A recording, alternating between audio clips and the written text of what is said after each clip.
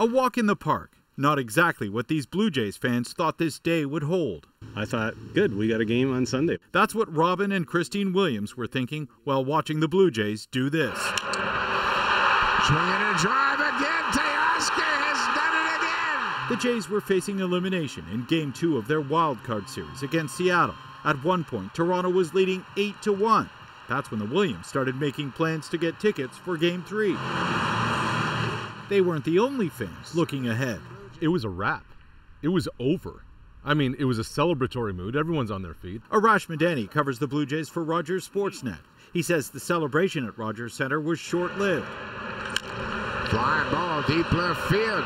The Mariners started to claw their way back, eventually taking the lead and silencing the crowd. You could hear a pin drop in that building. The Mariners hung on to beat the Jays 10 to 9, sending the 47,000 plus fans who were here at the Rogers Center home disappointed. Another Toronto team can't get it done. This type of misery is nothing new to Williams, also a long suffering Leafs fan. He watched them blow a 4 1 lead at the end of Game 7 in the 2013 Stanley Cup playoffs, then also blow a 3 games to 1 series lead in the 2021 playoffs against the Montreal Canadiens.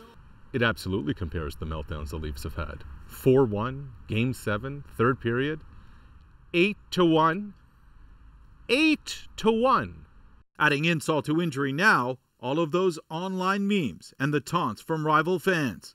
My family in Montreal, they don't. They're they're relentless. Yeah, and the comments are really ba- really hard. That's probably them calling right now. Probably them saying, "What's going on?" Williams is trying to look on the bright side. He says there's still hope for the Blue Jays. Maybe they just weren't ready to take the next step.